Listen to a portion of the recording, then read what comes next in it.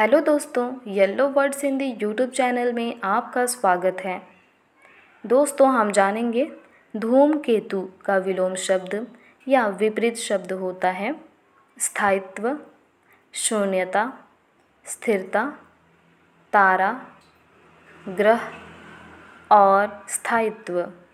स्थायित्व, शून्यता, स्थिरता, तारा, ग्रह और स्थायित्व।